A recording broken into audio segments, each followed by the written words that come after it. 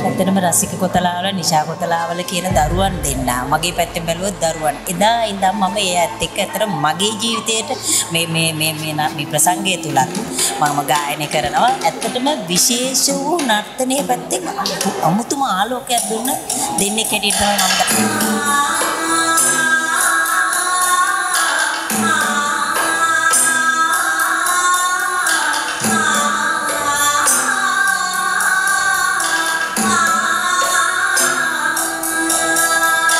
කියන්නේ ඒගොල්ලෝ සාම්ප්‍රදාය මනාව හසුරවලා ඒ තුලින් නව ලෝකයට මේ අලුත් પરම්පරාවට මේ ශිල්පය දෙන්නේ කොහොමද කියන එක පිළිබඳව ලොකු අවබෝධයක්.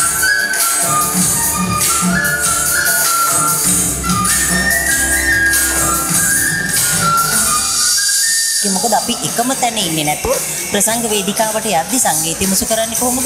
ආලෝකය මුසු කරන්නේ කොහොමද? ඒ සියලුම කටයුතු කරන මන අවබෝධයෙන් කටයුතු කරන දෙපළක් හැටියට මම දන්නවා. මොකද එදා ඉඳන් මම දන්නවා බොහෝ කාලයක්. ඉතින් මට සතුටුයි දුකයි. ඒ දුක තියෙන්නේ මම දැන් මගේ ලෝකයේදී මම අපි දැන් ඒගොල්ලන්ගෙන් ඈත් වෙලා යනකොට පොඩි දුකක් තියෙනවා. නමුත් හැමදාම හදවතින් සුබයි Thank you.